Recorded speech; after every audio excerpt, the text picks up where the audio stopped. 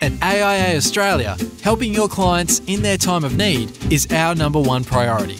In 2016, we paid over 1.15 billion in claims to both retail and group members. That's over 4.5 million every working day. To offer your clients cover you can trust, chat to your AIA CDM today.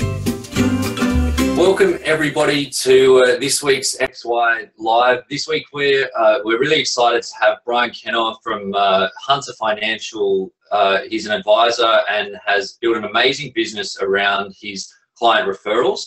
Uh, firstly, though, I just wanted to say thanks to uh, our friends at AIA for, for supporting these sessions. Uh, that's uh, helps us, you know, bring the, these things to you. So thanks very much. So Brian, welcome. Great to have thanks, you. Thanks, Ben. Thank you. So, no, good, good, and uh, nailing the, the technology. For for some uh, people watching in, they might be thinking that, that Brian is uh, perhaps a little outside the the typical XY uh, participant. But uh, I caught up with Brian a few months back uh, for a coffee, and he was telling me about the things that he's doing in his business and uh, some of the numbers that he was throwing around was amazing. So, you know, I think uh, when it comes to advice these days, uh, people sometimes, you know, it's easy to get caught up in that technology and you're trying to, you know, do all these things differently and do different things in your business. But it's important to do the uh, the, the basics really well, the fundamentals as well. So um, today we, we're going to learn a bit about some of those basics. And I know for me, uh, referrals is something that you know we we're really unstructured with and, and pretty poor at. So uh, so I'm sure some some great content uh, and and some good tips for everyone. So Brian, can you just tell us first of all just a little bit about your business so people know what it sort of looks like? Sure. So we've got a business in uh, Hunter Valley, so in Belmont, uh, south of Newcastle. We've got 18 staff, uh, turnover over three mil. Uh, there's a number of advisors my business partner who owns the majority of the business is more like you guys. He's uh, 37. And uh, we also have an investor, and I have a small share left in the business. And we deal with clients from uh, probably 30 to 35 years of age through to 85. Okay. So we, we, we don't believe in p- picking a particular niche. Okay, and so what sort of work do you do with your clients? Yep. So it's holistic financial planning. So we include insurances, uh, risk assessment, estate planning, investments, superannuation. Uh, so the the whole gambit. Okay, and so the business has been around for is it 2007 or seven years? Uh, no, it, has been since, uh, so it's now 11 or 12 years old. Okay. And how many advisors? Uh, four, about to be five and a half. Okay, due to the wait time, I'm sure we'll come to that yeah. in a sec. Uh, and and how many clients do you, does your business look after? Um, we look after very well about 600, but we've got about a thousand on the books. Okay, great. And so uh, I'm keen, really keen to talk about the you know the client refer, referrals because some of these numbers, you know, when we caught up uh, a few months back and, and just chatting before, are, are pretty amazing. Uh, you mentioned 78% of your clients refer other clients yes. into the business. And uh, I know that these figures are still uh, being being sort of finalised, but you noted that 90% or thereabouts of your new business is is coming from client referrals. So can you just tell us a bit about that and, and how that all came about? Sure. Um, it's definitely not luck. so, and it's definitely not just because we give good service. So, some years back, we started a, a program where on every agenda of every meeting. Uh, one of the last items is personal introductions. So we've stopped using the word referral and we use personal introductions. So, uh, Ben, if you and I were at a pub together having a drink and Ray walked in, uh, you would say, Brian, let me introduce you to Ray. You wouldn't say, let me refer you to Ray. So, well, I hope you wouldn't. Um, so we've we've shifted away from that and used personal introductions, and it it is on every agenda. So your first meeting with us, your second meeting, the third meeting, which is the plan presentation, um, the reviews, it's on every agenda. We do have some basic tools that we use. So uh, we give clients a sheet that they can fill out and put on, um, you know, friends and families' names and contact details. The truth is, probably uh, one in 50 people fill out the form. But we found that uh, when we reviewed and did our survey of our clients, and we do it every two years, so we're due, due to do it again next year. 71% of our clients were willing to refer, and therefore, in most firms, you would find that 20 or 25% actually referred. But 71% of our clients were willing to refer, and 78% actually referred. So the process of us constantly asking, and it's a gentle uh, introduction. So we use words like, Ben, if you're happy with our service and we've done a great job for you, uh, you know people that we don't know. Uh, is there any reason why you wouldn't be keen to personally introduce us to your friends and family? And most people go, no reason at all. Uh, well, look, we've got some tools here that may help you, uh, but we'd we'd love to. We love caring for people, and so we'd love to care for your friends and family. Um, and we'll actually be mentioning this uh, at every meeting because, quite frankly, this is how we've grown our business. We love dealing with people like you, and so people then refer. Uh, if we didn't have the constant reminders, then it just wouldn't happen because you get busy and you forget, um, and you you concentrate on servicing or delivering the implementation of the plan, and you forget to ask. So it's a constant reminder for us, and it's on every agenda. Okay, and so with so when when this conversation happens, how did the is there a a framework for for when you would do it? So you have that the you know those couple of sentences that you mentioned that you sounds like from in would be in the first meeting to to sort of position it. Is that something? Do you do that? You know, where does it sort of fit in? Yep. So it's it's the last item on every agenda, so it doesn't matter what the meeting is. Um, and so on the second meeting, we would simply say, "Now, Ben, you remember in our first meeting we talked about personal introductions," and you'll go, "Yes." Most people at that point say, "Look, I haven't thought about it," or "I have thought about it, and um, I'm not sure what to do next," or they say, "I've actually got a few people in mind." uh, what's the best way for me to approach them. So if they haven't thought about it, we go, that's fine. Um, understand that we're all busy. Uh, we just mentioned to you, Ben, that we're going to uh, bring it up at every meeting, and so we don't want to let you down or let your friends and family down. So it's on our agenda, and uh, we'll mention it again the next time we meet. Um, is that okay with you? To Get their permission, and everyone says, yeah, sure. What What would you say, Brian, for um, perhaps young advisors that uh, may be a bit petrified to consistently ask their clients about this stuff? I know, you know, for myself, I, I'm really confident and happy with the work that I do for my clients, but there's still that little little thing inside me that goes, geez, I don't want to be that guy that just asks and asks and asks. So, yeah. um, you know, perhaps that's just just me. Ray, it's not just you, it's all of us, but it, it's the same issue that we have with setting our fees. It's the same issue we have with asking for personal introduction. It's the same issue that we have with raising our fees and, and acknowledging the value that we give to clients. It's in our own head.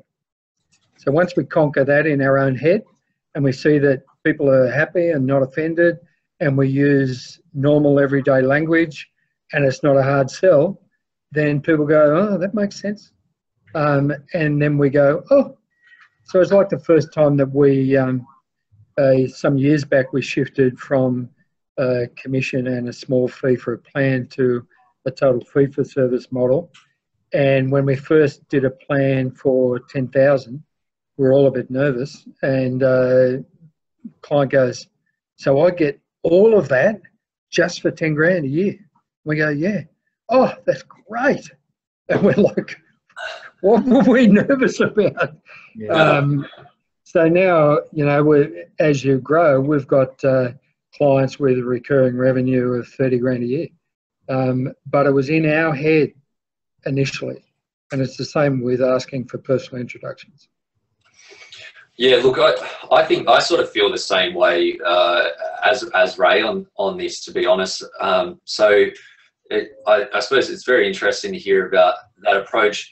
Um, one thing actually I didn't mention before, just for the guys that are watching in, we are going to have some time for questions for Brian as well. So, for anyone anyone that's watching, um, feel free if you've got any questions or you know issues, anything that you want to ask Brian, you can type it into the chat box just on the right hand side here uh, and we'll and we'll get to them through the session as well. So, so Brian, with the with you know how you ask, one of the things you mentioned uh, is about, and I've heard this this sort of framing of sentences quite a lot. That they say that you say. Um, you know, if we do a good job and we do all these th these things for you, is there any reason why you wouldn't refer? To me, that feels a bit weird, you know, I feel a bit weird about that. Is that, do you think that particular framing is important? Because I, I, I, hear that a lot for different uh, elements of the, the sales process. And I fully acknowledge that we all work in sales. Like I get that. That's just, you know, you're helping people uh, discover a need and then solve the problem. But is it, you know, are there variants on that that you use or do you, is that line yeah. important?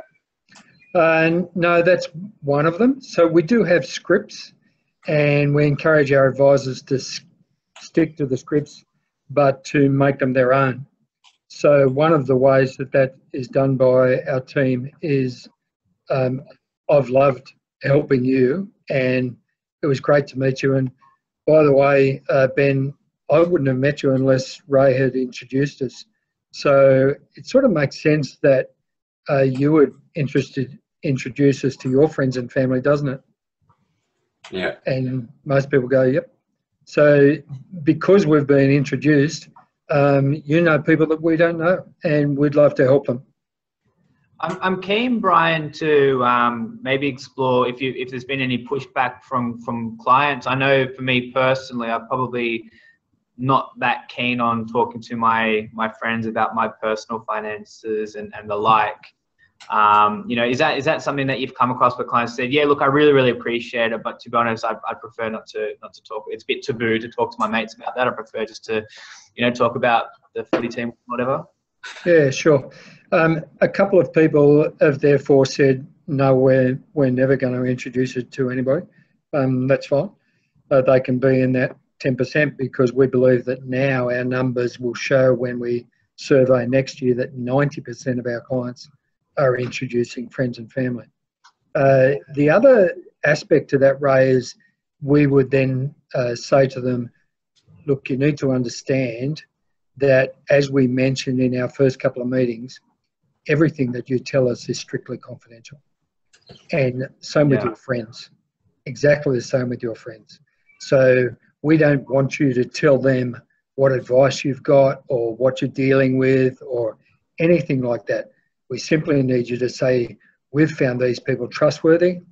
Um, they're actually becoming good friends, and I think you should go and talk to them.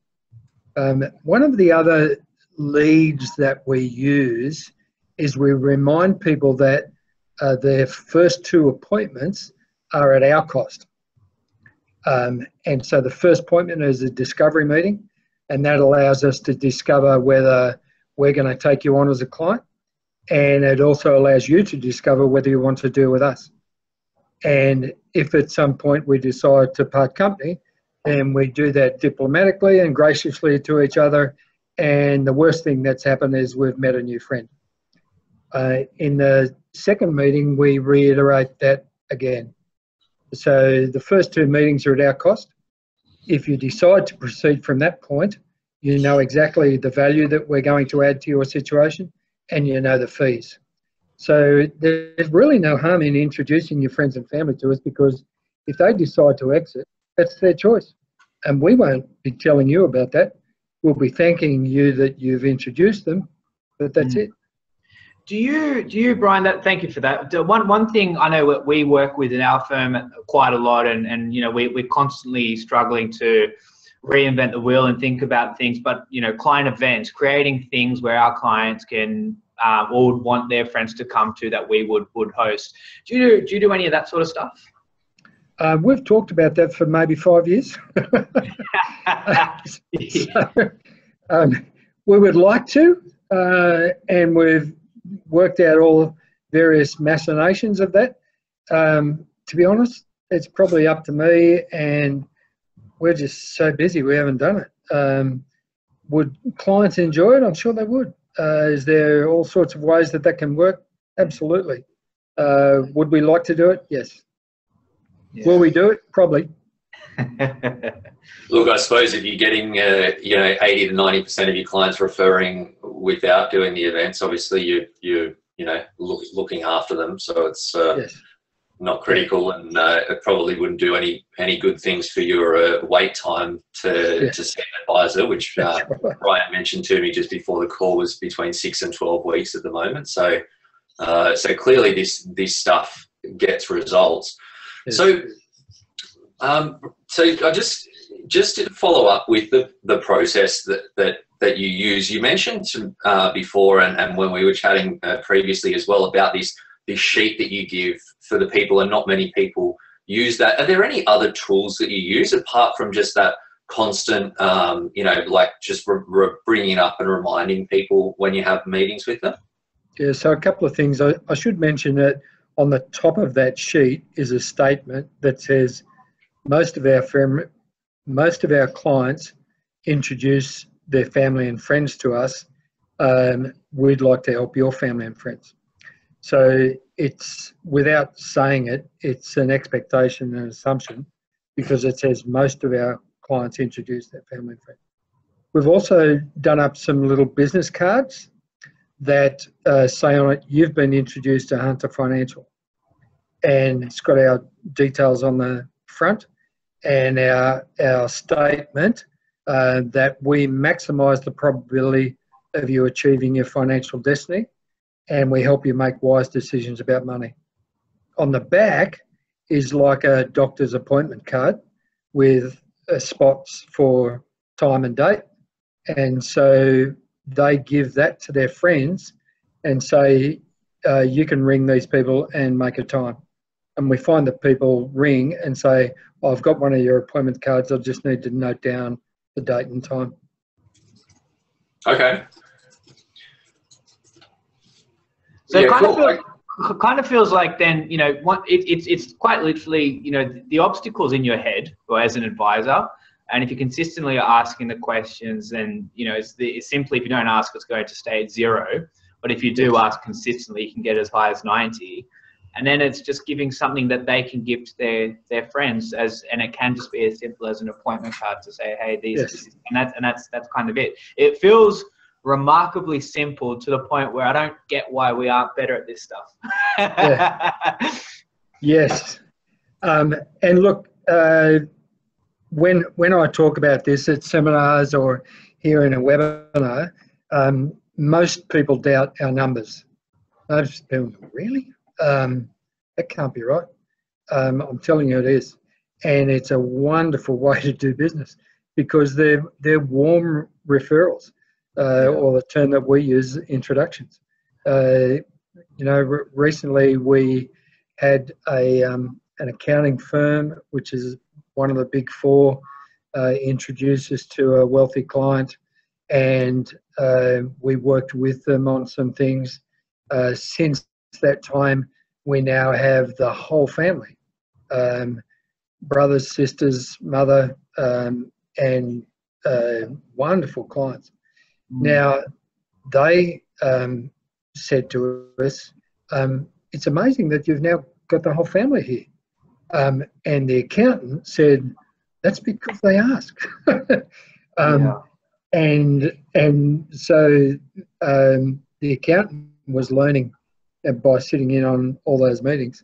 And I, I just think um, it's something where if you stick to it um, and do it casually, non threatening, uh, release people, um, then most people, obviously, you've got to give very good service.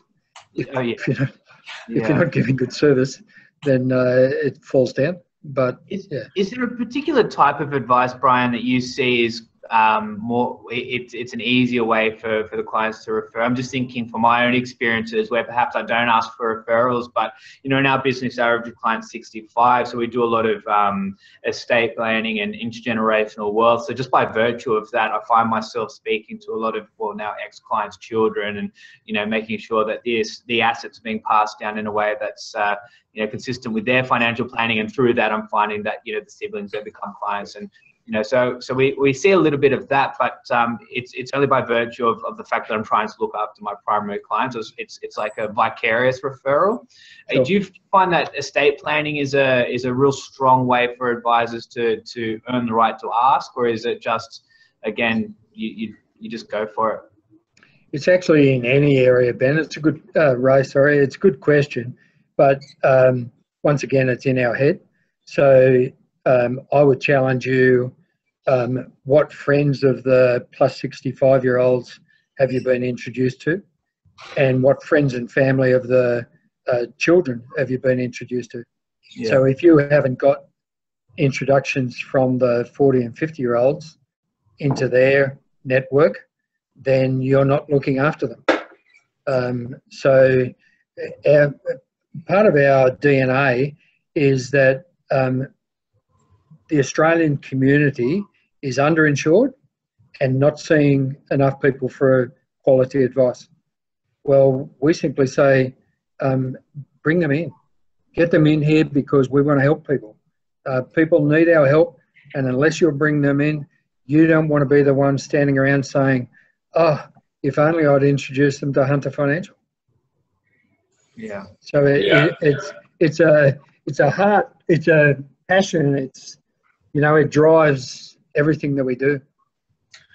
So to follow up though on that one, Brian, have you found that there's any particular, uh, like you know, door opener, I suppose, that's that makes it easier for an, an introduction, as you say, to to be to you know to to sort of connect with your business. Do you know, like if you get introduced to a person that needs comprehensive financial planning versus someone that just need, has an insurance need that you solve or an investment need.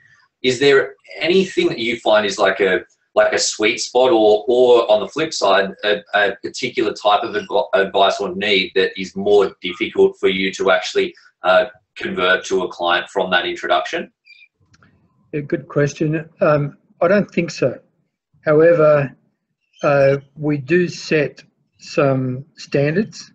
So, for instance, if um, we've got five criteria. Um, they must be people like us. They must be people like our other clients.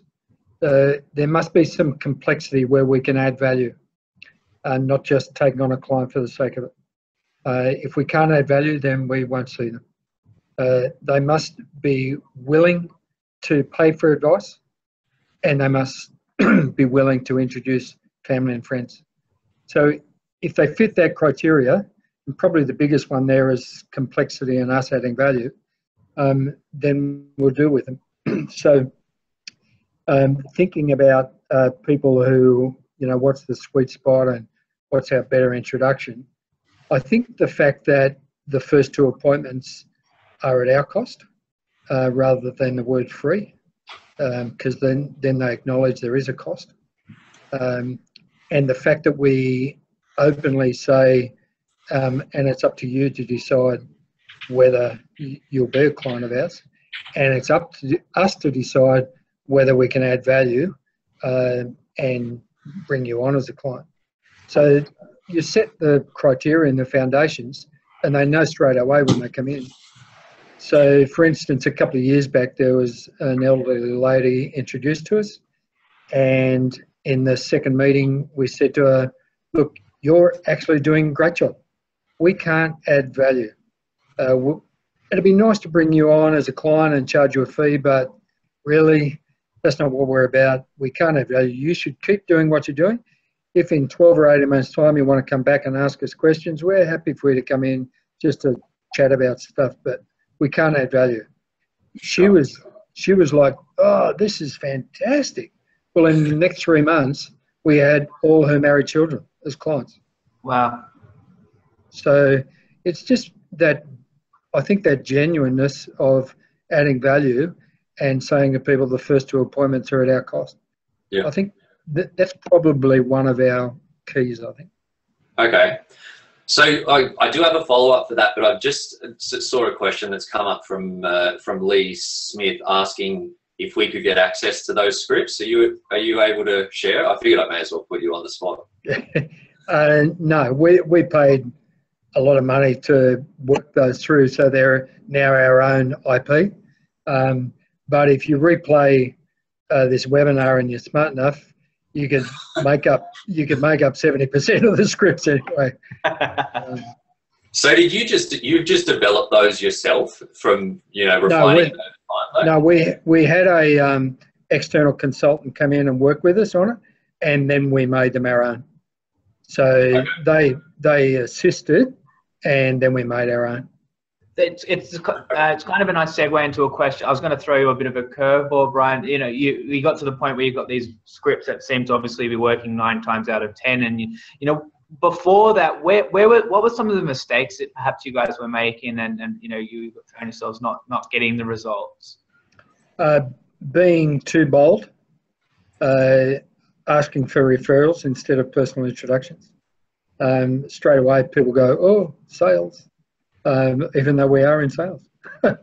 um, and uh, the um, script, we, we, we've refined that and continue to review it uh, to just make sure that it's still genuine, it's us, it's not forced, uh, and it's part of who we are. Yeah. Did you try any um, incentive programs or anything like that where um, you know maybe not not giving them a clip of, of what you're earning for referral, but just uh, you know rewarding clients financially or, or otherwise through through referrals? Um, I would never offend anybody by doing that. Um, uh, to me, that's um, just terrible. So yeah. I, I know that in years past we used to do it with accountants and lawyers and give them a referral fee basically. And we had, we actually had referral agreements that were formalised and uh, we declared it on our SOAs that we were paying XYZ accounting firm, you know, uh, X dollars. Um, but uh, no, we've stopped all of that. We never mention it. It's never asked for. Uh, we don't even go there. Yeah. So Brian, so uh, and apologies to Lee, I, was, I did do my best there, but um, just with the. With okay, the, let, let, let, me, let me reiterate. What, what I can do is I can send to you the sheet and a copy of the business cards. Okay. And you, and you can attach it for everybody. That'd be great. So we'll That's post really those up in the in the Facebook group. Post the post the session for everyone looking in. And thanks for that, Brian. Appreciate and in it. light and, and in light of the fact that um, we don't offer referral fees, um, I won't ask for a bottle of red or anything like that. well, we love we love giving gifts, so you might be surprised. That's very um, kind. Thank thank you, Brian. So, Brian, what, what do you find though? Like, so you're getting all these different referrals, different types of, of people, but what do you find is the um, like the main sort of business that that you're doing with these referrals like because you're saying you do holistic you know comprehensive planning and, and strategy work but you know what does it actually look like for the for the people that you get in versus you know insurance only versus super versus comprehensive uh, from the referral side uh, we would hardly do any risk only these days um, it's usually not worth it for us because um, the clients don't want to go into a um, fee for service model. They simply want a transaction. And we say, look, um, there are lots of places that you can go and get that transaction organised. Uh, we want to deal with you. We want to deal with your spouse. We want to deal with your business partners. We want to look after every aspect of your uh, financial life. And uh, if you're not prepared for us to do that, then it's probably not the right fit. Okay. So yeah, okay. Well, that's a, that's a, that's amazing. Because I, I, wasn't sure. I know you know sometimes it's people talk about referrals and with insurance, it's a probably an easier conversation, especially if people have already got that cover. But to get those numbers with doing, you know, the overall strategy stuff, I think is amazing. That that um, opens up something I was thinking, Brian. Um, you know, is there, is there perhaps thinking for younger advisors, you know, taking taking uh, into you know, you've got an established business and perhaps that affords some flexibility with who you work with. Sure. But is that you know, if you're a young advisor and you're starting out a bit, like you you'd be screaming for any bit of business you can get to to get yourself started. Is it perhaps you know, would your advice then be to young people starting out to, um, you know, be really mindful and not not chase the quick money, but you know, to to remain firm around saying no to business? Yeah, look within within reason. Uh, you can't you can't have every week go by without writing business um, because you've decided that you're only going to deal with people with blue suits and pink hair um, because that's your niche. Um, you go broke real quick. Um, so within reason, yes, but you must know what it is that you want. So unless you've set some agenda and criteria around where you want to work, um, then how, how do you know? So if you're hunting bears, you don't know what a bear looks like, um, you're not going to find them. So decide what your bear is going to be within your business and go looking for them. Uh, in the meantime, if a lion or a cub or someone comes along and wants to do business with you, then sure, and maybe you might even say to them, you know what, I actually don't normally uh, deal with uh, your situation, but I'm happy to help you out on this occasion. Sure. Rather than begging, oh, please, please come to me. yeah, I think that's, I think that's, uh, that's just very important for, to make sure that you're positioning yourself for that, for the, the valuable service that you provide, right? So, uh, cool. So I, saw, I just saw a question come up from Ezra, and it sort of ties in with one of the questions that I was going to ask. I'll, I'll ask you them sort of both. Uh, Ezra talks about you know the, the need for activity, um, but uh, to to drive this, but then ask you know with when you're uh, talking to your clients about these introductions, do you need to coach or guide them about how to how the introduction uh, process should work? Uh, or, how, or what they should do. And then leading into what I wanted to ask was that, you know, what, you, what have you found is the best, best way for getting a referral? So if I'm your client and you have that conversation with me and I say, okay, yeah, that's great, Brian, I love your work. Um, I know a guy, uh, I, want, I want to introduce him. What do you do? What do you do from there? And what have you found? Is there anything that works better than, than others? Um, so we used to uh, try and control that straight away uh, what we do now is I would say, Ben, how, how would you normally go about that? If you were referring them to your BMW dealership um, and a great mate of yours that sells cars, how would you normally go about that? If you were referring them to your doctor or your dentist or just telling people, I want to introduce you to my GP because he's great, how would you go about that? So we asked them they then come back and say, oh, I'd normally do this. Well, that works for us. Um, why don't you give it a try and let us know how you go? And then we'd follow them up and say, hey, Ben, how'd you go? Um, so we, we ask them. If they say, look, um, I don't normally do this, but I'm happy to do it, um, how can I do it? Then we will give them a little bit of coaching and say, look, we suggest that um, you mention to them that we're going to give them a call and then give us their details and we'll do a softly, softly call. But be assured you will never ever be embarrassed. Yeah. Okay. And so you, you mentioned that you, you were previously you were doing it a little differently. What was that? And is there a, a learning, you know, that, that's come out of that that's that's got you to change to the to the approach that you take now? Yeah, it was probably too salesy, Ben. Um, too hard, too firm, too, you know, we expect this from you. Um, you know, if you don't get it to us today, tomorrow will be fine. it, was bit, yeah. it was just a bit too, uh, it was too pushy. Um, okay. And so we've backed right off. Sorry, Ben. I, I, it's oh, still- sorry. Sorry, Brian. I, I cut you off. Go on. still, yeah, that's right. But it's still in every meeting. So although we've backed off and it's softer in terms of language and approach, it's still there in every meeting. Yeah, sure. And so with so with the you know you mentioned that when uh, if someone asks you, then you can give them some insights or some tips or something. What do you what do you say in what are the what's the sort of insight that you give them? Um, so it'd be something like, uh, Ben, if you were going to uh, talk to Ray uh, about us, would you normally do that over a beer on a Friday night, or would you do it over the phone or email? How would you normally communicate with him about that?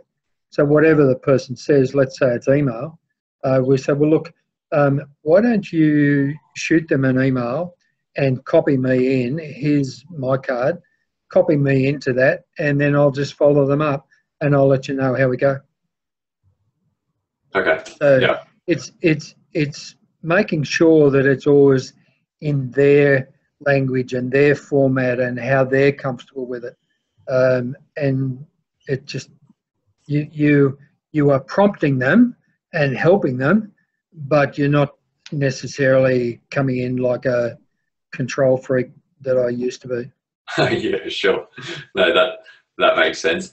Uh, so look, I've got one last question just before we we open it up to questions from the guys watching in. And for for anyone that's watching, if you've got any questions that, or things that you'd like to ask Brian, you could just type them in the chat box there, uh, and we'll come to them in a sec. Uh, so my question is, uh, I don't know if you if you look into this data at this sort of level, but have you found like when do people typically refer? Have you found that people tend to refer more at the front end, or you know, as you go through, or uh, you know, all, all throughout? Yeah, good question. Um, we tried to analyse that and we tried to get a bit of a benchmark on it. No idea. Um, some people, um, before they even become clients, so, so they loved the experience of the discovery meeting, um, and before they even get to signing terms of engagement, they've referred three or four people. Um, it's like, really? Um, and others, 18 months time. So there's there's actually no science that we can find in that data. What we do know is because we have it on the agenda all the time and are doing it gently and in a nice uh, language, then people introduce their family and friends. Okay. Yeah, I suppose it doesn't matter. It doesn't really matter. I suppose when it when it happens, as long, No. as, long as it happens right. Yeah, that's right. So Yeah. for those that maybe have, have kind of signed in throughout the, the webinar, I've put together maybe six six kind of key takeaways, which um, first of all, when you're asking for referrals, I think the obstacles are, are clearly in, in your head rather than in, in the uh, the right to ask. Um, so that, that was that was one of the first ones. Um, it- it's helpful to perhaps give something to your clients to give to their referrals if it's a business card or just something to pass on to them. They've, they've got all your contact details. Don't be too abrupt. Um, was one of the learnings, and that that falls into the next point, which says you know it, it needs to be authentic. Otherwise, this stuff's going to feel a bit synthetic. It's not going to work. Um, to, to what Brian was just talking about in their language, in their in their way of communicating it. You're not you, you know don't don't feel like you need to own that process and, and don't don't control it. Um, allow that to happen organically because ultimately they're friends because of the way that they like talking to each other. So don't disrupt that. Just you know, uh, you know, fit, fit into to, to whatever that is. Um, and I, I think probably one of the the biggest ones that I'll definitely take out of this is not referrals you're asking for. It's a personal introduction. You know, it's Yeah. introducing like you would one friend to another. You you're not Yep. you know the pub referring your mates to each other. It's like you, Yeah. you're just getting together and you know you you've, you've got a sense that these guys like each other. So you know catch up and Yeah. shoot the breeze. Yep, very good. Cool. So I got a question from from Lee uh, asking about how many new clients you take on per whatever period um, following this referral type strategy. Yeah, good question, Lee. We aim for 30 a month um, and probably hit uh, 15 to 20 every month, and every now and then we hit 30. Wow. But that's why we've got capacity issues. yeah, that's uh, that's the big numbers. So okay, and so a related question from from a from another Ray, uh, talking about you know when you're onboarding clients, do you look at their their lifetime value or the the metrics around that, and does that drive any of the you know your approach? Uh, just explain from the question uh, what they mean by lifetime value. Like in So the- terms of So I the lifetime like- value of a client. Yeah, so I'm your I'm your client, but then I, you know, you figured out that I'm going to refer you for other people on average, and then they they generate revenue for the business. Oh, okay. Yeah, no, no, never. It's uh, the implied future value of that client um, uh, will grow with us, but never about the potential of them to refer. So, for instance, if you dealt with accountants and were really looking after the accountant and spending coffee with them once a month based on the fact that you were going to get a lot of referrals, you've just wasted a lot of time and money because it ain't going to happen, in my experience.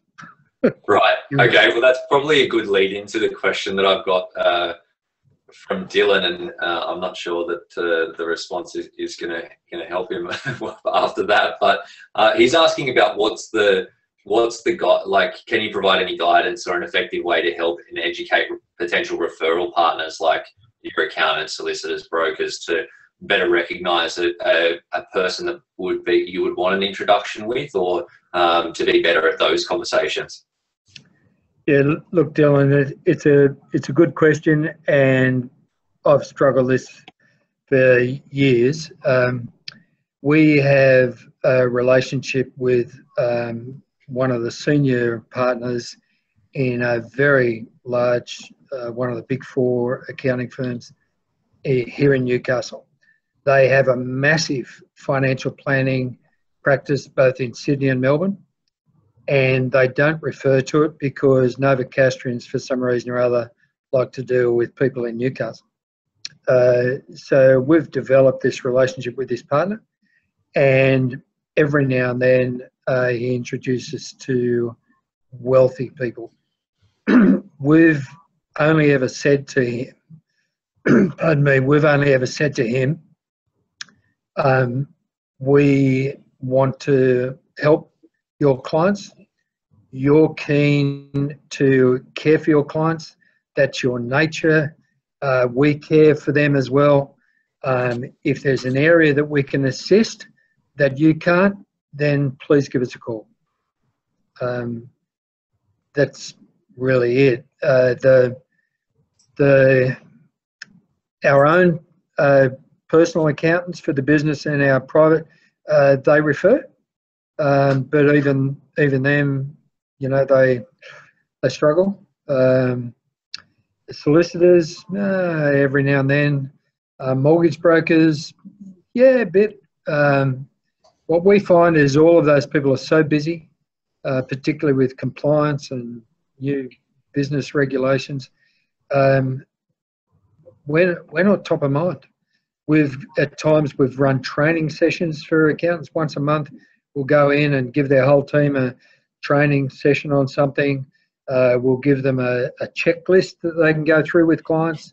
You know, do you have life insurance? Do you have income protection? Da da da. Uh, so that they can then say to the client, "Well, look, uh, we're going to introduce you to someone to look after this." Um, a lot of hard work for very very little return.